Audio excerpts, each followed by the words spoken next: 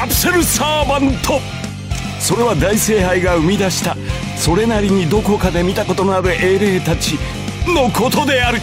カプセルサモンと呼ばれる疑似英霊の小規模召喚法の確率により実現した。未来の子供たちのベーゴマバトル的な何かなのだ。とまあそんなことは割とどうでもよくて。ここ冬行士はまたしてもなんかめんどくさい時空の乱れに巻き込まれていた。次々に召喚されるサーバントっぽい何か。続々と台頭するマスターらしき俗物たち。争え。もっと争え。人々の心を闇と課金の力が蝕んでゆく。誰もが絶望に膝を屈する中二人の勇気ありすぎる小学生。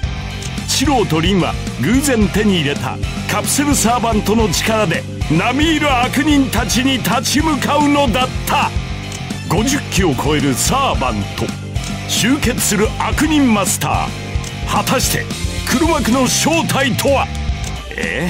ー、虎とかその辺じゃないの？時空崩壊まで残り5時間。とかなんかそのくらい。シローはみんなの街の平和をリンは自分の街の平和を取り戻すことができるのか？よく来たな。チュートリアルという名のステージ01へ。私ワカメ嫌い。僕は開発当初ボスキャラシンジ大将軍のはずだったが初版の事情でチュートリアル用のサンドバッグに格下げされたマトウシンジ様だ。私ワカメ嫌い小学生の頃の僕は純真でまだ割といい子だった設定を期待したけどそんなことはなかったぜ!行くぞ私ワカメ嫌い!楽して勝つのが上策よね。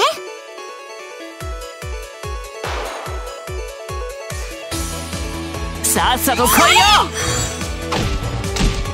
ここだ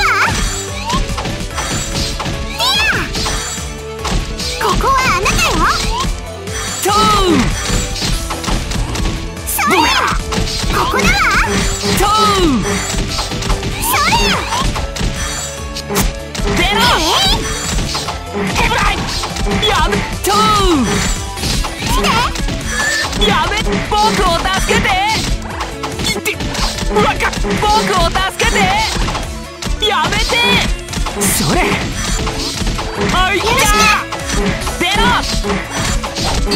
欲しいんです？さっさと来いよ。やっぱりダメだったのね。お前らのせいだからな。オッケー楽勝。オッケー。虫無双の心なるべく豪華なサーバントうんいい調子。よく来たなチュートリアルという名のステージ01へ。そっか。親切だな。僕は開発当初ボスキャラシンジ大将軍のはずだったが初版の事情でチュートリアル用のサンドバッグに格下げされたマトウシンジ様だ。そうか。気の毒にな。小学生の頃の僕は純真でまだ割といい子だった設定を期待したけどそんなことはなかったぜ。行くぞ。そっかなんかすまないな。やるしかないか。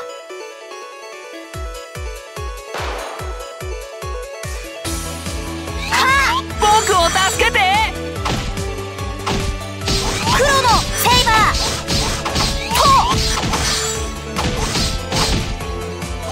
ー。ここだね。ここはお前だ。すっごい痛いよ。わかれいやこれでどうだ？ごめんなさい。ブバイクセイバー。強いぞ。かっこいいぞ。お前だヘブライいくら欲しいんです？黒のはいはいやれやれ。くー疲れました。これにて敗北ーです。うん。続けていくぞそろそろ小遣いがまずい。よし。回すぞ。よし。